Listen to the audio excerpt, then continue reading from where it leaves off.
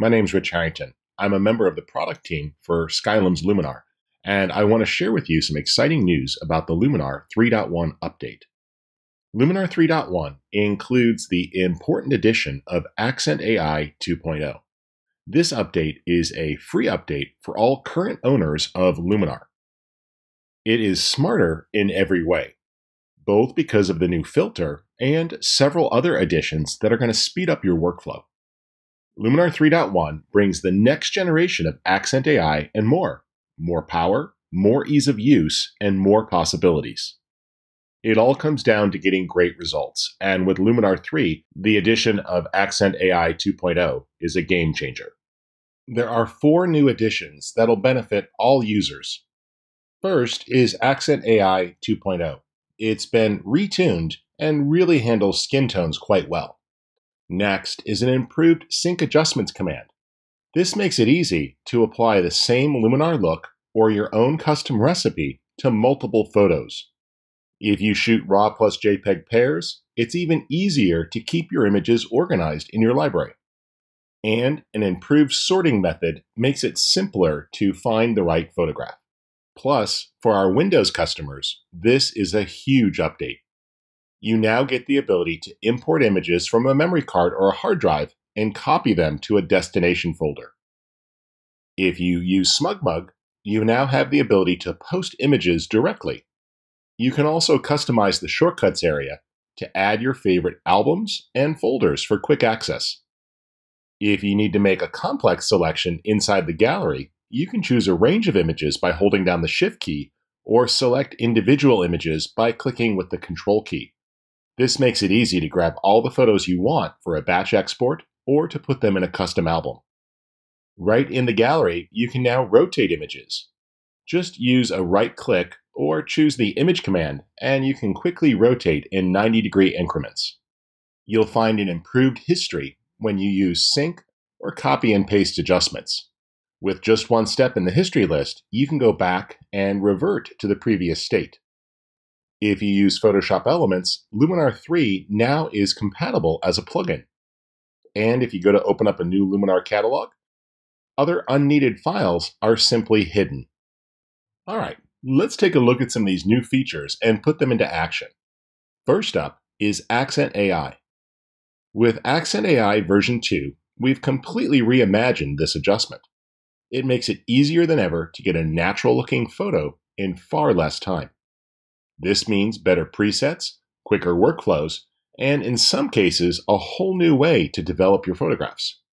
The technology is human aware, meaning that it recognizes people in the photograph and applies adjustments selectively for a more realistic image. With Accent AI 2.0, you can make dozens of adjustments quickly done with just one slider. Now, it's well suited for portraits, but of course works on landscapes and cityscapes as well. As you see, one quick change was all that it took to make this image look far better. Accent AI 2.0 really is designed to fix several problems fast.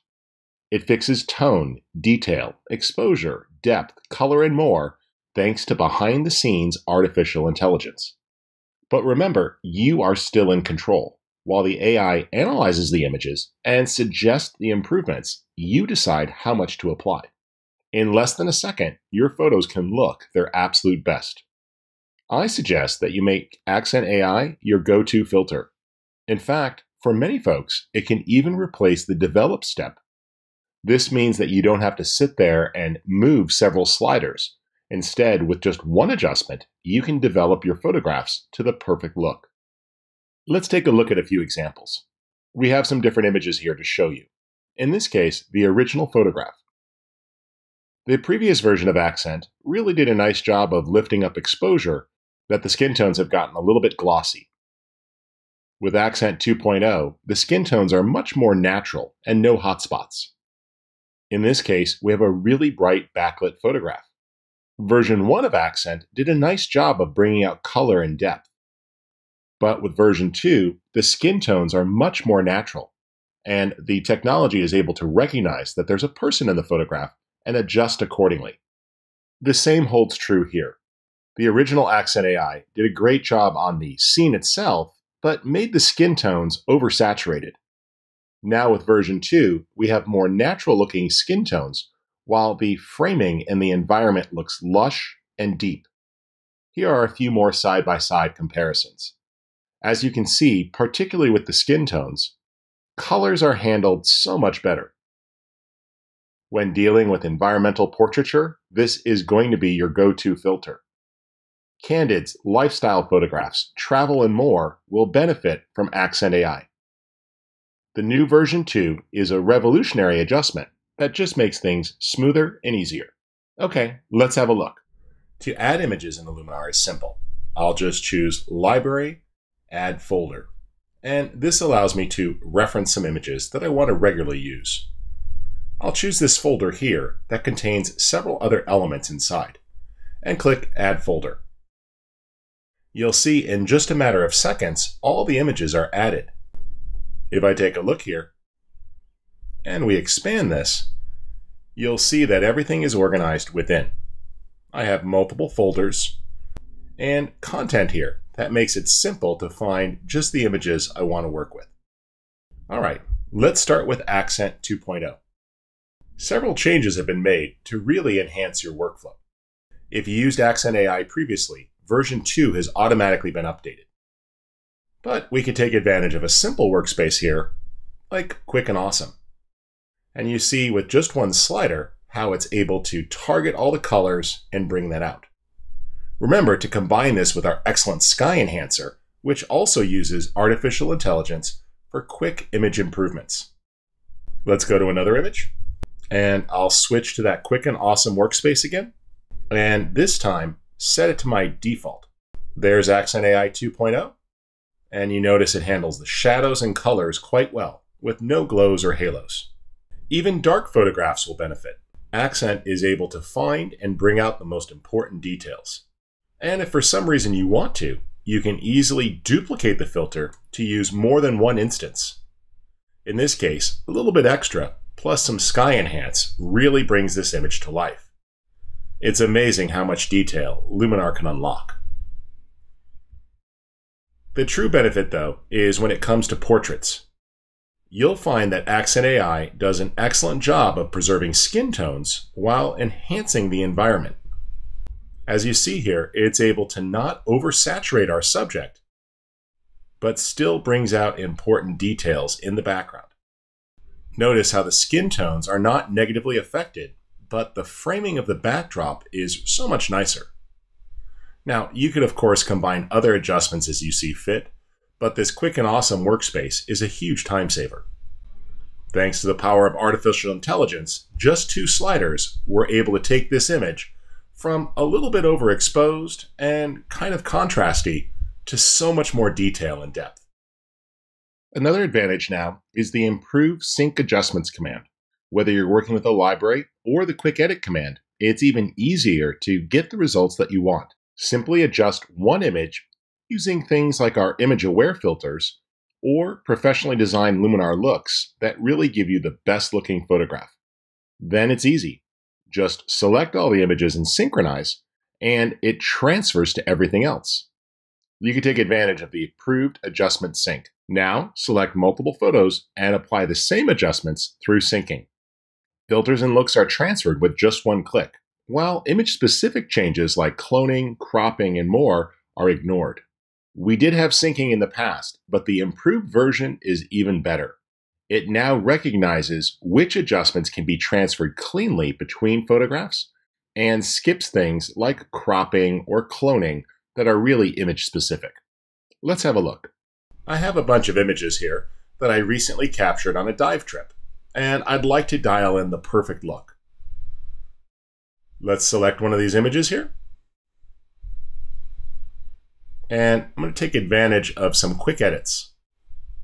We'll use Accent AI and a little bit of clarity. And I'm going to apply two more filters. I'll type in the word cast and choose remove color cast, which did a nice job of removing some of that underwater cast. And I'd like a slight vignette to darken the edges a bit with a gentle feather. and a little bit of inner light. I like that.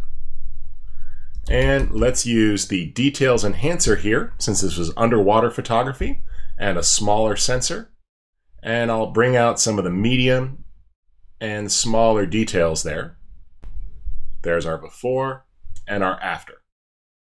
Now I can go back to my overall view and select the images that I want. I can choose all of them by holding down the Shift key for arrange or use the Command or Control key, depending upon platform, to grab other images that I want to affect. In any case, as you do, it's very easy to select multiple images. Then just right click and choose Adjustments, Sync Adjustments. This will quickly take that adjustment and apply it to all of the other photographs. And when you use some of the image aware filters, such as Accent AI, it's able to quickly adapt to those changes. Notice how that change was applied to the photograph. The change that I made was able to be applied across multiple images very quickly. Remember, these changes are designed to be fast and simple. Just locate an image that you want to enhance and double click. Take advantage of your own recipe or explore some of the Luminar looks. For example, let's choose the Essentials category, and I'll go with the AI Image Enhancer. That looks great. Nice quick change, really brought out the color of that butterfly. And let's just finish that off with a small vignette. There we go. Now back in my library, I can choose other images that I think are similar in content, and even some that aren't exactly the same. And with a click, I can just choose to sync the adjustments. It's the image that's selected in yellow, the first one that you chose, that'll be used when you synchronize. The big change here is that other tools like cropping, cloning, and erase have no effect on the synchronization of adjustments. If I take a look here with the before and after, it's really done a nice job of bringing out the details in that photograph. If you shoot RAW plus JPEG, it's even easier to stay organized. Now, when you import these images into Luminar 3, it can handle them and keep them sorted properly. When you import RAW plus JPEG, you can decide which ones you see. Do you want to view just the RAW or the JPEG files for a less cluttered library? Or do you want to see both and use the JPEG as a reference while you edit? Once you're all done, the edits are independent but remember, they can be easily synced with the command you learned previously. Let's have a look. Now, in this case here, I've brought in several images, but there's actually twice as many images in the folder. If I choose to, under RAW plus JPEG Player, I can decide how we view things. Let's go ahead and sort by capture time. In this case, you'll notice that there's two of every image. That's because there's a RAW file and a JPEG. Well, sometimes we do this for backup in camera, or we want to see how the camera processed the JPEG. It might be a little bit different. Under the View menu here, it's easy to choose what I see. Typically, I work with just the RAW files, and this makes it simple to see that. You'll notice in this case that fewer images are shown. I'm going to actually try Contrast Enhancer. That looks good. And what I'm going to take advantage of here is just a top and bottom lighting. Makes it simple to apply a different type of lighting at the top of the image here. Let's rotate that a little bit. And we'll pull down the top a little bit and mm. brighten the bottom. Looks good. And let's add accent to finish this out. There we go. I like it. I'll just put that top and bottom below accent because I want to affect the order here so that the lighting is applied afterwards. Now, if I go back to the gallery view and let's punch in here, I can choose to see both for a moment. And now I have the RAW file, which I can see has been edited, and the in-camera JPEG. If for some reason you want to, you can always select one and then the other, and take advantage of that sync adjustments command you learned about earlier. That'll quickly apply the adjustment from the RAW file directly to the JPEG. This ability for RAW plus JPEG makes it easy for you to find the images that you're looking for. You'll notice that by using the View menu, you can decide to narrow down what is shown in your library. This will make it a lot simpler to work with the type of files that you want to edit. Let's talk about a couple more benefits when working with the pairs. First up, attributes like ratings, pics, or color labels are going to be applied to the pair. This makes it easy that as you organize images, they stay organized. If you move a file, the files are moved as a pair. This means that moving one will move it to an album or a new folder. Now, if you are viewing RAW or JPEG only, then they're going to move as a pair to the trash. However, if you're viewing the files separately, then you have independent control. This way, if you want to clean up and remove just the JPEG files, for example, you can do so. So it really depends upon how you're viewing the files. Let's have a look. As you see here, if I mark a pick, it's applied to both of the pairs. If we go ahead here and apply a star rating, same thing, it goes through. So in this case, if I want to go over to the JPEG file and I decide to move this one to the trash, I can do so. You'll notice that it moves, but the raw file stayed behind. On the other hand, if I was viewing these as just the raw files, and I decided to move one of these to the trash, you'll see that it moves. If we take a look here over at the trash, let's view these as separate files. In this case, the one file moved on its own. However, the pairs move together. Now I'm going to select all these and just put these back, and they are returned to my library. So let's move this to a new folder, and you'll see that both of those images have moved out. If I take that there and move it, they moved as a pair. Let's go ahead and take a look at an independent file, same thing. We'll move that over. And now let's go back and look at both and you'll notice that it did indeed move the pair of the images. So, a simple way to stay organized, and great for those of you who like to capture RAW plus JPEG. A small but useful change is improved sorting. When using the gallery view, it's even easier to get organized or to find that perfect image more quickly. If you use one of the sorting methods, such as color label, file size, rating, etc., a second organization method is also applied your images will be sorted by the first criteria, and then secondly, by the date that they were captured. This is going to make it a lot easier to stay organized. Our last option comes into play with sorting. Remember, in the upper right corner, you have different ways that you can sort your images. Let's say I took the time to rate my images. Remember, you can do this right on the image itself, applying star systems or taking advantage of pics by marking your favorites with the heart icon there for your favorites. I'll just quickly mark a few more favorites and show you how easy this is to really locate just what we want. Once I've decided on the images that I want to work with further, it's pretty simple. Let's go ahead under the By menu here and choose to see just our pics. And I'll sort descending. You'll notice that the picked images are shown first.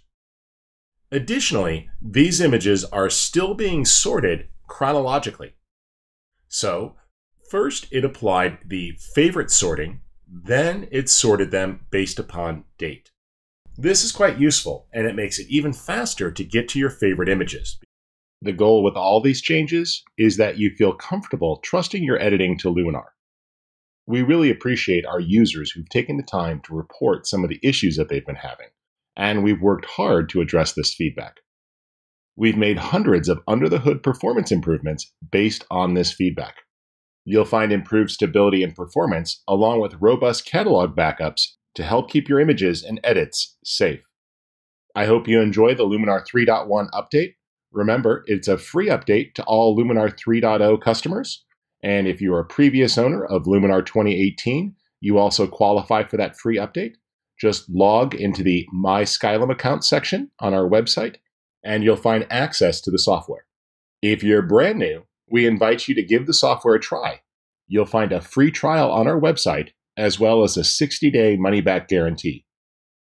Be sure to give Luminar a try and dig in to find out all of the changes that have been made to help you enjoy your photographs and get fantastic looking images.